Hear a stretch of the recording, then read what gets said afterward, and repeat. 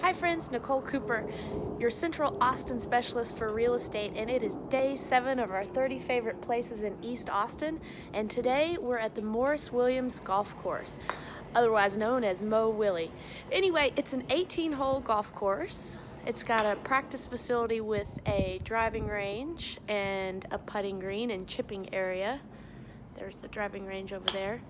Um, great little course, my favorite course uh, for the municipal part of golf. And um, come out and try it. If you want a partner to tag along, give me a ring. I'd love to play with you. Uh, this is Nicole Cooper, day seven, spot number seven, Morris Williams Golf Course, and I'm your Central Austin specialist.